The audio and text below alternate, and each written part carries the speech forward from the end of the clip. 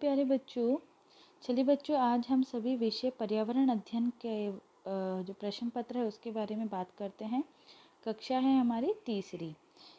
पहला प्रश्न है, सही विकल्प का चुनाव कीजिए। प्रश्न एक से लेकर प्रश्न पाँच में हमसे सही विकल्प का चुनाव पूछा गया है। एक प्रश्न बच्चों, हमारा एक अंक का है। यहाँ पाँच प्रश्न हमसे पूछे गए हैं। हमें नमक कहाँ से प्राप्त होता है? बच्चों, नमक हमें कहाँ से प्राप्त होता है? ब्रेल लिपि को कौन लिखते हैं? ठीक है, कैसे लिखते हैं? हम ईमेल कैसे भेजते हैं? पानी के खालिस्तान रूप को बर्फ़ कहते हैं। सूर्य किस दिशा में उदय होता है?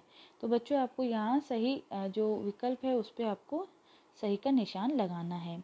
अगला प्रश्न नंबर दूसरा है, सही वाक्यों पर तथा गलत वाक्यों पर गलत का निशान लगाएँ। देखिए बच्चों, नींबू पौधे की जड़ का भाग है, क्या ये सही है या गलत है? यहाँ आपको सही गलत का निशान लगाना है। चिकनी मिट्टी एक प्रकार की मिट्टी है, पानी का किसी भी रूप में पुनः उपयोग नहीं किया जा सकता।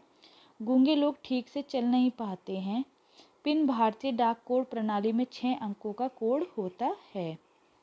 अगला प्रश्न देखिए बच्चों, रिक्त स्थान की पूर्ति कीजिए।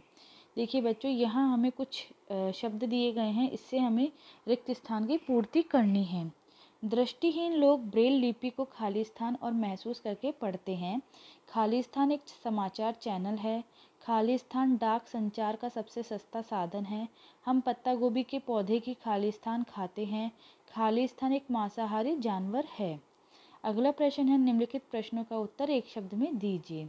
संचार का सबसे तेज साधन कौन सा है? हिस किस जीव की ध्वनि है? हमें लकड़ी कहाँ से प्राप्त होती है?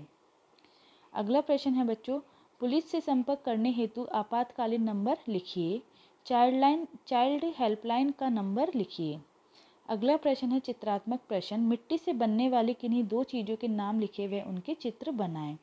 ये हमारा बच्चों देखिए, दस अंकों का प्रश्न है तो इसे आप सभी ध्यान से करिए कि मिट्टी से बनने वाली किन्हीं दो चीज़ों के नाम लिखिए और उनके चित्र बनाएँ। अगला प्रश्न देखिए बच्चों, प्रश्न नंबर बाईस है वर्णात्मक प्रश्न। पानी के बचाव के लिए किसी भी एक तरीके के बारे में बताइए। पानी के बचाव। के लिए किसी भी एक तरीके के बारे में आप सभी को यहाँ पे बताना है। अपने घर का पता यहाँ लिखिए। ये दो अंक का आपका नंबर दो अंकों का आपका प्रश्न है। तो बच्चों, देखिए, आप सभी वीडियो को ध्यान से देखिए, समझिए कि आपसे क्या प्रश्न पूछे गए हैं और आपको यहाँ क्या उत्तर देने हैं। उम्मीद करती हूँ आप सभी को मेरा वीडियो अच्छा लगा हो तो इसे लाइक और शेयर ज़रूर कीजिए। थैंक यू प्यारे बच्चों।